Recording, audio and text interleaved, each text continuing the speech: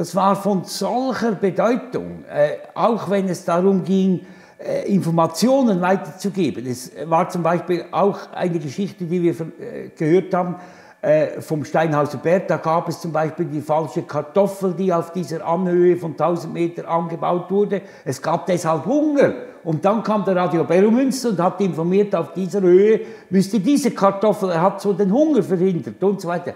Also es sind so Geschichten an Geschichten, kaum zu glauben, was da alles äh, zusammenkommt.